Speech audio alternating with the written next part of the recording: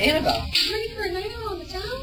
Yeah, I can't wait to see cats. Where do you two think you're going? You are grounded and put some clothes on and wash the dishes. But Mama, we never get to go out. No but now. Fine. Ah! I hate doing the dishes. Me too. I wanted to see cats really badly. Man, I can't believe my mom and Liz go just out like this. Any fun. I wish life was different. Hmm.